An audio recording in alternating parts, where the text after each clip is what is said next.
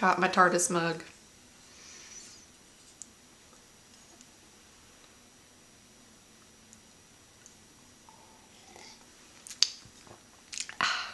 That's one thing I won't be giving up. McAfee. Happy New Year! This is my obligatory New Year's video for y'all, my lovelies. Kinda missed ya. Looking back on 2014 and 2013, those were years where my business came first. Getting settled down here in North Carolina, getting things all set up, ready to go, getting a business functioning, that was my primary gumption, if you will. My, what's the word? Propulsion? Whatever this is. This year, I did whatever it took to make sure that my business survived. And some of that was really great because I got to make new friends and I got to see new places. But parts of that was also really terrible because I was exhausted and pretty much sick the entire year. As much as I wish I were, I'm not a jet setter. So I finally got a break here at the tail end of the year, beginning of the year, to just sit and think about what I want for 2015 and for the next whatever years to follow. And I don't want to live in this constant bubble of stress and exhaustion and sickness. I'm tired of being tired all the time. And part of the reason that I'm tired all the time is because I'm not taking care of myself. I'm not wholly well. And that's not just exercise and eating, that's a whole slew of other things. And I know a lot of people resolve to get fit in 2015 and the new year, yeah! And then, like, three weeks later, after going to the gym twice, they walk away from it again. I want to take into consideration my wellness as a whole. And wellness to me is not just physical. Like, yes, physical is a big, big part of it. You have physical, but you have mental, and you have spiritual, like your soul and what makes your soul happy. So I've decided to make this my focus this year. And part of keeping on task with this wellness journey I don't I don't like that name, but I couldn't think of anything else for it. Or I'm calling it the 2015 Wellness Challenge I'm not 100% in love with that, so if you have a better idea, post it in the comments below. So I've decided to try very, very hard to make a weekly video, just focusing on all aspects of my health and my wellness and my mental state and and just life that's going on, things that I'm doing. Because part of this journey is being kept accountable. Like if I don't have anybody keeping on me, I'm gonna fail at this. Like I'm gonna go back and revert to what's easy. Another thing that's important for me is to put things in place for success because I'm one of those people who will talk about an idea and then I'll never implement it. So I took the time in the past couple of months to find a gym that I really, really love and find classes that I really, really love that I can go to on a consistent basis. So physically, I've got a gym set up.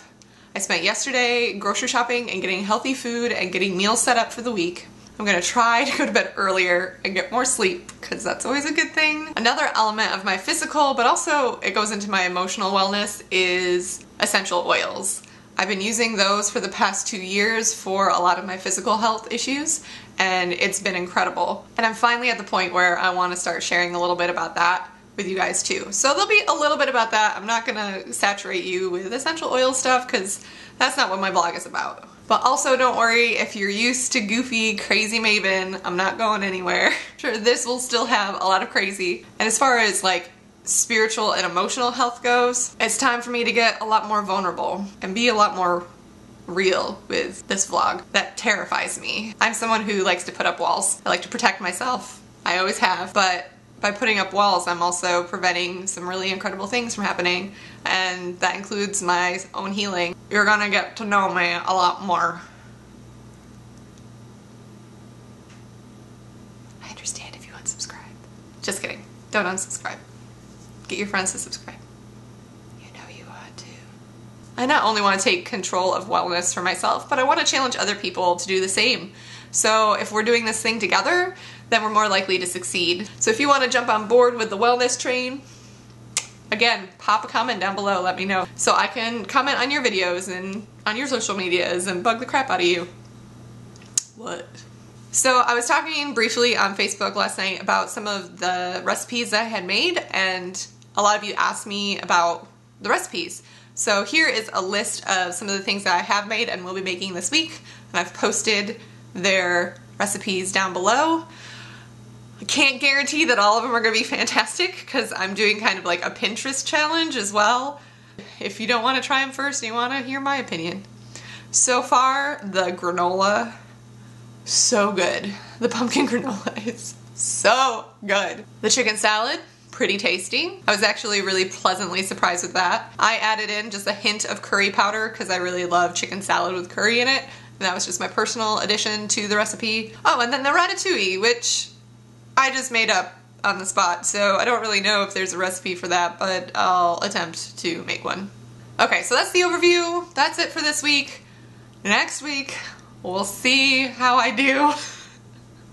I'll be checking in with you guys and kind of talking about some of the high points and the pitfalls of my first week. I'm sure these will get a lot more entertaining as we go on. Um, cause who doesn't love Mabyn being uncomfortable and awkward in front of a camera? Until next week, I'll see you soon. I'll be burping a whole bunch. Cause I just ate granola. Granola makes me burp. Make sure I don't have any granola in the teeth. This is the problem. Tip for vlogging. Don't eat right before you film because there's all sorts of stuff going on. But I had already poured my granola and it was getting soggy. There's nothing worse than soggy granola.